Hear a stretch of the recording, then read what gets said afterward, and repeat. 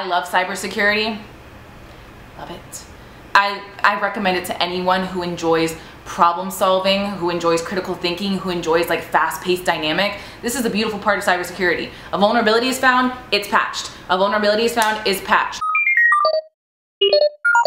Hey guys, today we're finally doing the video of how to start a career in cybersecurity. I get asked this probably more often than any other question. And so I know a lot of you all wanna know where to start. We're gonna cover it today. It's gonna be fun. Okay, we're gonna start this YouTube channel with a tradition, and that tradition is we're drinking tequila. So, cheers, babies.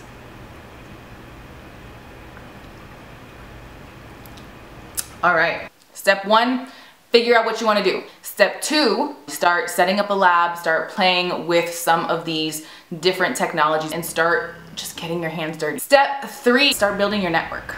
So like many fields, like technology, um, cybersecurity is a very, very, very broad space, all right? So when you are saying you want a career in cybersecurity, you can take a cybersecurity role on the business side of the house, maybe talking about cyber risk and coming up with business strategies to help mitigate that risk. But you can also take a very technical role. Maybe you want to be a um, network engineer or you want to be a penetration tester and, and do ethical hacking or maybe you want to work in digital forensics and incident response.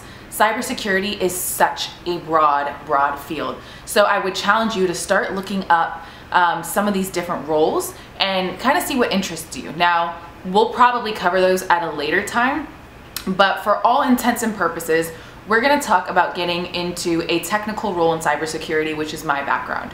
And so how do you start a career in cybersecurity where you are hands-on keyboard, either in an incident response um, and digital forensics type role or in a, a red teaming ethical hacking type role, penetration testing. So now that we have cleared the air, we're going for a technical role. Where do you start? I think it's super, super critical that folks have a very, very solid foundational understanding of networks and operating systems. So when you are, for example, on the red team side, if you're not familiar with the word red team, um, basically red team means you're the adversary. So you get paid to breach companies, to you get paid to hack these companies so that you can tell them where their risks are, what the vulns are, and they can remediate them and fix everything before they actually get breached, okay?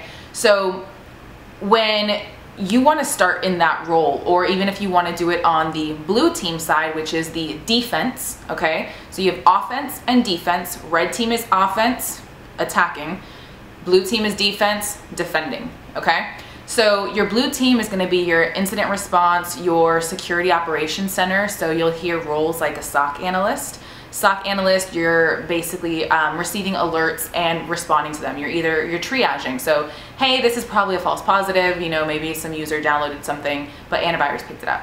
Or, um, hey, it looks like we have an actual adversary based on what our alerting capability looks like. It looks like there's something that we need to, to investigate a little further.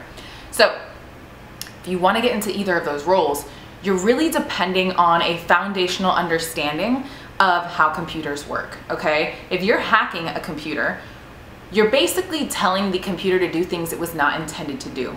So hacking um, is manipulating the machine to act in a way that it wasn't intended to. So most of the time, if you want to start in this ethical hacking space, you really want to have a super foundational understanding of the Windows operating system. And I say that because most enterprises are run running the Windows operating system.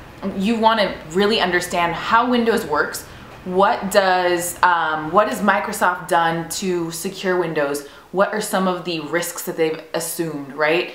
And once you understand that, as a hacker, you can manipulate them as a blue teamer, incident responder, SOC analyst, you can anticipate those and start protecting against that. Or if, God forbid, there's a breach or some type of threat that's actively in the environment, you know where to look for these artifacts. So when you start understanding, when you start trying to understand Windows, um, I recommend really understanding like what's the Windows registry. I'm not gonna go into super detail about any of these concepts just yet because that will take girl, boy, whoever is watching, that's gonna take a long time. So just make a note of these. Look into the Windows registry. Look into common Windows processes. Um, you know, what does startup look like for Windows? Look at common network ports for Windows. So um, basically what ports are typically open on a computer and what is used in a enterprise environment. Now, once you understand that computer itself, you understand that local Windows machine, most of the times in organizations, you are also going to be attacking the enterprise as a whole. So if you're attacking the enterprise, you need to understand how that enterprise is run. And a lot of organizations are running Microsoft's Active Directory. Active Directory, think of it like a user and computer and group management tool. So what happens is as an attacker, you're going after accounts that are part of this what's called a domain. Think of a domain like a kingdom, okay?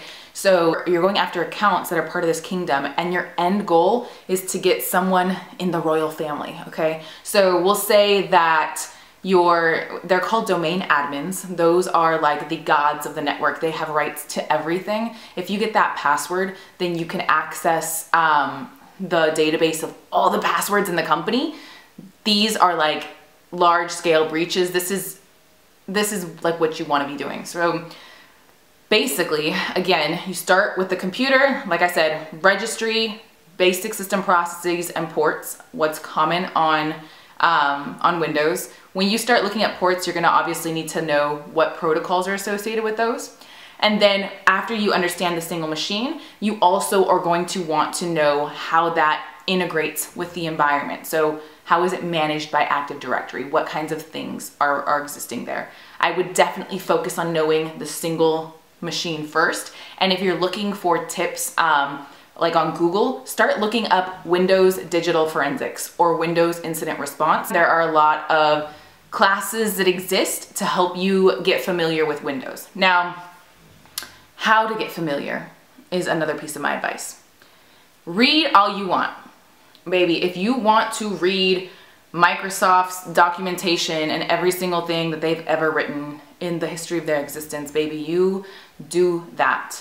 But you're not gonna learn as much as if you just build a VM or you have a Microsoft computer, a, Windows computer, and you're actually playing with it. So if you don't know what a VM is, it's a virtual machine, which is a machine that lives inside your machine. So if I have a Mac, I can actually run a Windows computer on my Mac through a virtual machine. That way you have a Windows computer that you can actually play with.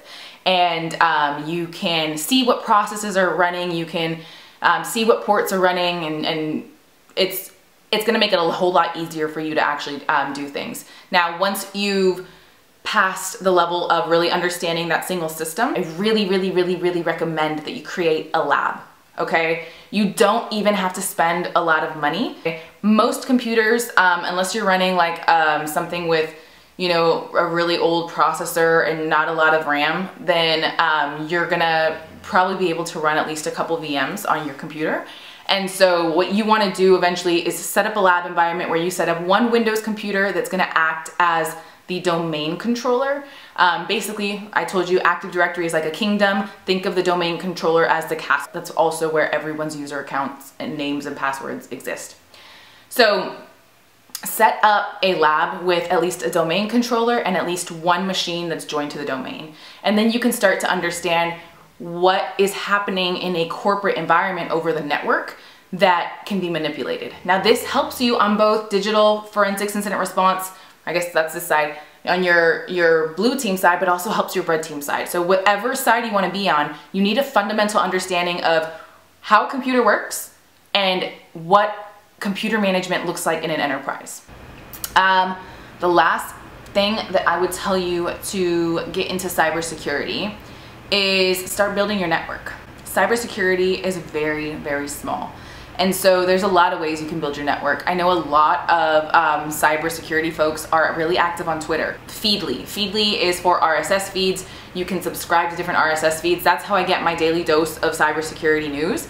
So create a Feedly, um, start reading up on those articles, start following the authors. A lot of times those authors are also speaking at conferences. That's another thing. There, we're in quarantine y'all, there are a lot of digital conferences. If you wanna know them, please find like my website, join my Slack space. I'm gonna put it here in the description box. because I want to be a resource to y'all. And there are so many like virtual conferences that are going on right now. So you can get exposure, you can listen to people's technical presentations. Who knows? Maybe a year from now you're presenting something on your own research. Start playing if you haven't been on GitHub. A lot of people post their tools on GitHub. Start playing with some of their tools. Now, read the code first because you could be downloading some malicious shit but start seeing who those authors are and you can follow them on Twitter, follow them, whatever it is, follow their blog, whatever it is. There's a lot of knowledge in this space and you really wanna immerse yourself in it and hug everything cybersecurity because this is gonna be one of the most rewarding experiences of your life. I love cybersecurity, love it. I, I recommend it to anyone who enjoys problem solving, who enjoys critical thinking, who enjoys like fast-paced dynamic. This is the beautiful part of cybersecurity. A vulnerability is found, it's patched. A vulnerability is found, is patched. So when you are in cyber, you're keeping up with all of that. So if you like learning, I promise you, you will enjoy this because you're, you're project based a lot of the time, like especially if you're on a red team, projects are four weeks long and then you go to a whole new environment, you go to a whole new company and you have to start from zero and try to get whatever trophies it is that they've assigned. So such a rewarding career, definitely requires work, but it's worth it. It's so, so, so, so worth it. All right guys, so I hope you enjoyed the first video of this series. Um, eventually what you're going to be able to expect from this channel is more content. Uh, we're going to get into some technical concepts. So think of it like little mini lecture series. So we're going to start talking about the Windows registry like I mentioned. Maybe we're going to talk about common ports on Windows, how to set up a lab environment. All of that is coming. I promise you all, it's coming. Um, and post-corona, it's gonna still be there. So we're in this together. If you ever need to reach out to me, please, please, please join Slack because I'm active on Slack and it's so much easier than replying to a DM. And apart from that, in the Slack space, there are other people in cyber that want to do what you're trying to do. So you guys can connect and be friends and it's great. We're a big happy family. So join Slack. I'm so excited that you guys are here and I can't wait to see where this adventure takes us.